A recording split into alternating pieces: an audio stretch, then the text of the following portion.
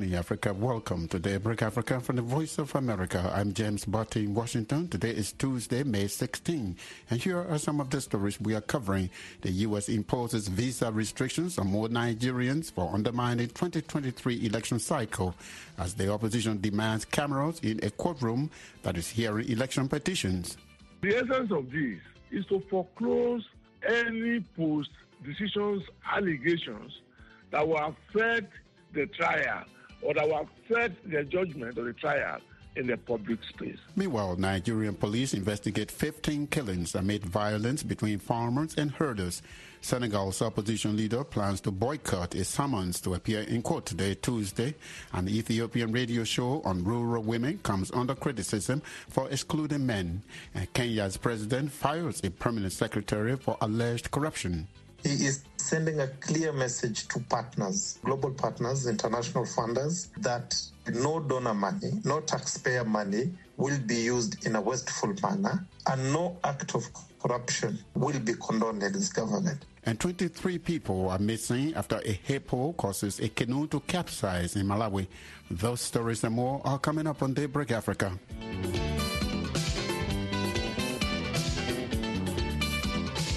U.S. Secretary of State Antony Blinken says Washington has imposed entry restrictions on more Nigerians for undermining the democratic process during the 2023 election cycle.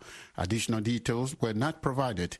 Reuters news agency says the action is the latest in a series of visa restrictions imposed on Nigerians in recent years. Court records show that Nigeria's election tribunal this month was to begin hearing opposition petitions challenging President-elect Bola Tinubu's victory in the disputed February presidential election. Tinubu from the ruling All Progressive Congress Party defeated his closest rivals Atiku Abubakar of the People's Democratic Party and the Labour Party's Peter Obi, who have alleged fraud and launched a court challenge. Nigerian government officials told VOA on Monday that they had no reaction because the U.S. visa restrictions did not identify any specific individuals. In Nigeria, the opposition Labour Party and its presidential candidate Peter Obi filed a petition demanding live media broadcast of the ongoing election tribunal where judges are hearing the dispute over the outcome of the February 25 presidential vote. It comes after the main opposition, the People's Democratic Party, the PDP, also petitioned the court seeking for broadcast of its proceedings. Both presidential candidates, former Vice President Atiku Abubakar from the PDP and former Anambra State Governor Peter Obi, are challenging the outcome of the presidential contest, citing voter irregularities and rigging. VOA's Peter Clottey spoke with Kola Ologbondiyan, spokesperson for the campaign team of former Vice President Atiku Abubakar. Well, the petition of the PDP to the uh, Presidential Election Petition Tribunal is just a, is a demand that the activities of the court should be done before the public by allowing media practitioners to cover the events at the tribunal. And the essence of this is to foreclose any post decisions allegations that will affect the trial or that will affect the judgment of the trial in the public space. Bakola, wouldn't this be distracting a rather serious national security issue? No, I don't see that as, um, create, as a possibility of creating issues bordering around national security. I do not see that. Where election was held, decision was reached by the Electoral Commission. The opposing parties have the opinion, and they hold to their opinions tenaciously that the election was full of malpractices and that they can prove this at the tribunal. All the statutes of law of our country allow for that process. So, how does that amount to harassing or impounding on the national security? I do not see that. Except there are things that people want to hide or does not want the public to know. That's only the time that we can be hiding, they can be hiding under the issue of national security. Otherwise, there is nothing and absolutely nothing wrong with conducting the affairs of the election tribunal in public. Some people are saying if the election tribunal is broadcast, it will put the judges in danger, and that if their ruling does not necessarily go in favor uh, of some people, they could be targeted. such request has never been granted in Nigeria's history. So why should it be granted now? They say. How do you respond to that? Those are alibi to allow for plots that will not favor the process of trial. And I say that in a firm belief that if it's the Lord Justices that are complaining or that have formed that particular opinion, is understandable. But when politicians are the one forming that kind of opinion, it shows that they are trying at every possible means to cover the atrocities that happen in the election. Otherwise, the belief of every Nigerian today is that the judges or the justices, the law justices, will come with a clean mind and with the intention to pursue only the cause of justice in the matter. And if that be the situation, all the alibis, all these issues are being fact, Eh, that have been created will go to no issue, as even the lawyers will say. Kola Ologbondiyan is the spokesperson for the campaign team of former Vice President Atiku Abubakar of Nigeria. He was speaking with viewers Peter Clottey. Police in central Nigeria are investigating the killing last week of at least 15 people in a farming community that was attacked by gunmen. Police in central Nasarawa state said the killings appear to be in retaliation for the death of an ethnic Fulani herder who was attacked with a machete Tensions between the farmer and herder communities over land use often explode into violence, as Timothy Obiezu reports from Abuja. Nasarawa State Police spokesman Ramhan Nansel said authorities have deployed joint security forces, including police, counter-terrorism units and the military to the affected area. He said it was unusual to have communal clashes between farmers and herders in that area and that authorities are engaging the herders and farmers in peace talks while the probe is underway. The attackers invaded the Takalafia and Kwanja villages in Karu district late Thursday and rained terror on villagers for hours, according to local residents. Police said it was a reprisal attack after an 18 year old herdsman was killed with a machete blow to his head in the same area two days earlier. Nansel spoke to VOA by phone. In that axis, we are experiencing this for the first time, so it's kind of strange. We have activated stakeholders, engagement, and interface. We've called for meetings between the farmers and herders across the states and some selected local governments where we normally experience these challenges. Locals told Nigerian media that at least 38 people were killed, including a pastor. They say the victims, including women and children, were given a mass burial Saturday. Nansel said police can only account for 15 deaths. I work with facts, I work with figures, I work with what I see, not what I hear. Farmer herder conflicts over resources like water, land, and pasture are one of many security challenges troubling Africa's most populous nation. In 2018, Amnesty International said nearly 4,000 people had been killed in bloody clashes over a three year period. The group said the government's failure to investigate the problem was escalating the crisis. Authorities have sent condolences to affected families promised to punish perpetrators and help supply relief materials to residents whose houses were burned.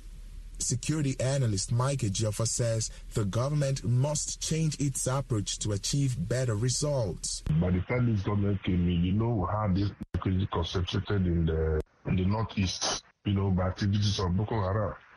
But somewhere along the line, when the government uh, turned the heat on the Boko Haram in the northeast, they started spreading towards the north central, northwest. Incoming government should change their approach since we have not yielded much uh, uh, results. Nigerian leader Muhammadu Buhari will be stepping down this month for successor Bola Tinubu.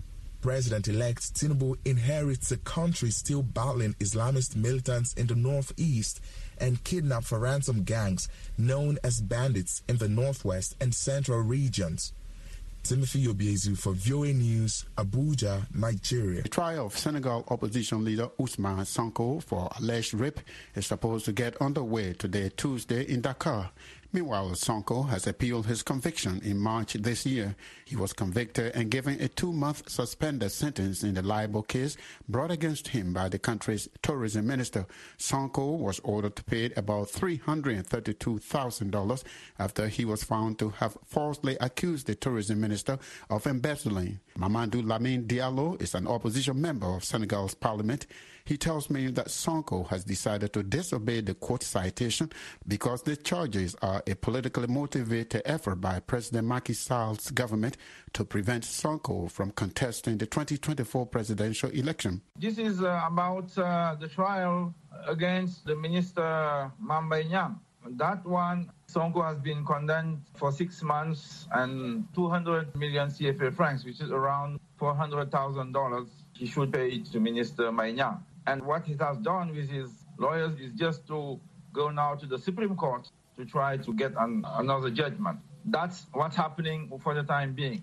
However, uh, what is now on stake is that normally tomorrow we'll start a new trial against Ousmane Sonko against that one is a crime because they're accusing him of raping and threatening with violence that lady and that, that trial will start tomorrow morning, normally. Why does he feel the need to get a second opinion? Well, I think that, that's something normal. I mean, he had a first judgment, which is against him, and then he went now to the second judgment, and now uh, he, he, will go to the Supreme Court. I mean, there is nothing extraordinary uh, about that. It's something that people usually do here. We go to the end of the justice system of Senegal you talk about the appearance in court on Tuesday. This, you say, is about the rape case. Uh, did I hear that his supporters were protesting? Yes, of course. That one is probably more serious in terms of charge because it's a crime. So uh, Sonko has said last week that he would start some kind to disobey to the justice system because he always said that that was a plot coming from President Macky and his regime he will not accept the justice in that condition. And he said that he will start to disobey to the justice system. And uh, I think that's what they start. And uh, this morning we have protests in some cities like uh, Ziguinchor, who is the mayor of Ziguinchor in South Senegal, and some part of Dakar. There are protests uh, coming in. So, what is going to happen on Tuesday when he goes to court, when the trial starts? I don't think that Sonko will go to court unless the government force him to do that. I don't think that he will go. From what you have said, he will not go because he said that he will disobey. And now we'll see what will happen tomorrow morning. If the government or the justice system or the, the defense force will be able to catch him and bring him by force in the court. To what degree uh, are all these related to what's happening about the election coming up? Of course, uh, all these things are related to the facts, the simple facts that Macky Sall, after two mandates, want to run for the third mandate. All the problems of Senegal are coming from this idea. Uh, I don't know where Macky Sall has, has got that idea because he was here in 2011 with me and other people we were saying that mm, President Abdoulaye Wade did not have the right to have a second term, uh, did not have to run for the second term. We were together, and it was quite clear for everybody in the political class of Senegal that no one in Senegal uh, has the right to run for the third term. And then uh, Macky Sall has a chance to become president in 2012, and he has the first mandate until 2019. And now he's in the second term, which will finish in 2024. That's finished for him. And he wants to run for the third term. That's why he's organizing all these systems which may destabilize the political system and even the society of Senegal. Mamadou Lamine Diallo is an opposition member of Senegal's parliament. He was speaking with us from the Senegalese capital, Dakar. Kenyan President William Ruto has dismissed his public health permanent secretary, Dr. Josephine Mburu, for mishandling the tender for the supply of mosquito nets. The president also suspended Kenya Medical Supplies Authority CEO Terry Ramadhani for the same alleged scandal. Joseph Kioko is a Kenyan political analyst. He tells me that the dismissals indicate that President Ruto wants to send a message that corruption will not be tolerated in his government. It was a scandal involving uh, the Global Fund for HIV AIDS, supply of mosquito nets that uh, are repellent to malaria. It's more of a preventive mosquito nets that are normally supplied in areas that are prone to malaria. And the tender was mishandled. A company with no capacity to supply was given, and they skipped a manufacturer of that company. Now, ordinarily, due diligence should have been made. But even without going further into the details of the scandal itself, as it was exposed by one of the dailies in Kenya, is the fact that the president has uh, shown that um, is serious about the fight of corruption in his government. That he did not take time. He has uh, news was broken. I think he got facts he decided that he does not want uh, his administration to be marred with the corruption allegations. And therefore, he fired not only a PS that he had appointed less than eight months ago, but, also the membership of the board of the parastatal that is concerned with the acquisition and procurement of those nets. That, that's a very bold statement. What does this mean uh, for future Global Fund lending to Kenya. Once the nature of this scandal was discovered and that the president showed that there are no sacred cows in his government, he is sending a clear message to partners, global partners, international funders, that no donor money, no taxpayer money will be used in a wasteful manner, and no act of corruption will be condoned in his government. There are no sacred cows in his government it is very easy to have assumed that uh, these people that were appointed or were serving those positions were very close allies of the president because it's a new administration. It's not even one year old. They've not even read their first budget. So the action taken is more a statement of intent to show donor community that this government is serious about the fight against corruption and that any person who plays with the taxpayers' money, with the donor funds, will be dealt with accordingly. Can we say that uh, these are just uh, allegations? And if that is the case, will these people, including the permanent secretary, will they be able to get their day in court? Of course, they're entitled to their day in court. Uh, I mean, uh, our constitution is clear that everybody is innocent until proven guilty. But, but you see, the fight about corruption is majorly a perceptional fight.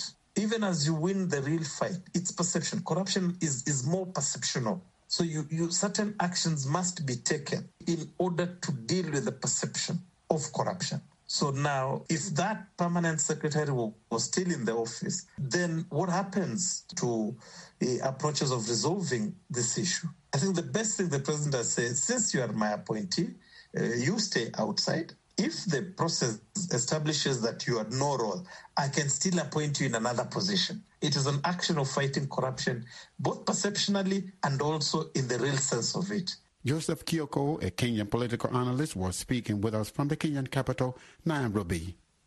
Ethiopian journalist Mel Kansu Solomon broadcast a radio program, Yemeshi, which focuses on rural women in Ethiopia. The show has received criticism for not being inclusive, mostly from men. Mel Kamsu defends the show, saying women's voices need to be heard in the media. Maya Misikir spoke to her and files this report from Addis Ababa.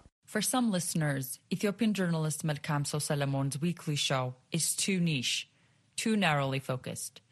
Her show, Yumechish, an Amharic slang term that roughly translates to You Go Girl, features the lives of rural Ethiopian women. We get told, you keep talking about women all the time. What about men's issues? Is it only women who have problems in this country? They say that we have a lot of other societal problems. Some people say it's luxury to talk about this. Yumechish, supported by the Bill and Melinda Gates Foundation, has been running for the past four years, highlighting issues that can improve the lives of women in areas of health and education. Most women, like men in Ethiopia, live in rural areas and making space for their voices is important, says Melkamso. We get the stories of these women to be heard. We show how hard their life is, how they don't have any help, how far they go to fetch water, how much they carry by themselves to the market. They don't have any help. We also do stories on what they could accomplish if they use this time working on something that can earn them money. People have that aha moment when they hear these stories, she says. Yimechish has received positive feedback coming from male audience members amidst the pushback. Bethlehem Negash, a member of the Ethiopian Media Women's Association, says that giving women a voice in the media has the potential to address widespread gender equality, but notes that women traditionally don't have that voice in Ethiopia. Mostly women are subjects of the media uh, as victims and, you know, uh, passive uh, voices rather than active ones who are, you know, we can contribute to the, uh, the society. According to a 2021 research report that Bethlehem co-authored, only 30% of the journalists employed by seven major media houses were women. Bethlehem says media houses which offer a better work life balance for women through providing daycare and improved maternity have been successful in growing women's participation. I think maybe what we take from that is uh, for us to advocate for you know more uh, balanced uh, and female friendly uh, newsroom and also uh, media uh, operations so maybe we need to appreciate some of the work done by few uh, media houses and also uh, try to uh, advocate, you know, uh, for other media houses to replicate that as well. Yimechish airs weekly on Sheger Radio in Ethiopia, whose owner, a veteran woman journalist, has supported the show in content production. ልምድ በመነሳት እንደዚህ She has advised me based on her own professional experience on who to speak to for the show and then help make those connections happen. She has helped me meet a lot of distinguished women. Shows like Yemmechish are not common in Ethiopia, but media expert Bethlehem says including women's perspective in media can be used to counter the same narrative that it is guilty of echoing. Maya Misikir for VOA News, Addis Ababa, Ethiopia. A one year old boy is dead and more than 20 people are missing in southern Malawi after a canoe carrying 37 people flipped when it was hit by a charging hippo. Police say 13 people managed to swim to the shore of the Untayamoyo River, which in the Chichewa language means a place where lives are lost. Lamek Masina reports from Blantyre. The police spokesperson in Malawi's Nsanje district said the incident happened 7 a.m. Monday when 37 people were crossing the river on a large canoe to work in their gardens. Police Sub-Inspector Agnes Zalakoma, speaking to VOA via WhatsApp, said the death toll is expected to rise as police detectives and rescue teams search for missing people. The canoe accident is the third deadly incident on the river in three years. Gladys Ganda is the lawmaker for the area. Tayamoyo means death trap. You cross that river at your own risk because it's infested with crocodiles, it's infested with hippos, and the canoes that are operating around that area, they're not the motorboats. So when you're crossing that, you actually know that I'm doing this at, at my own risk. I've done it before, and it's very dangerous to do that. Ganda said the accidents could be avoided by constructing a bridge across the river. The bridge has to be has to be constructed, and probably other bridges also that will take us in, into into the, the, the fields. But Damo Bridge is is a must. It's not a luxury anymore. That that is a necessity. It has to reduce the deaths that are happening around uh, this area. In the meantime, locals have asked to have some of the animals removed from the area. Ganda says a rising hippo population in particular is posing a food insecurity threat as the animals are also destroying crops. Lamek Masina for VOA News, Blantyre, Malawi. And that's it for this Tuesday, May 16th edition of Daybreak Africa. We thank you for spending your morning with us. For more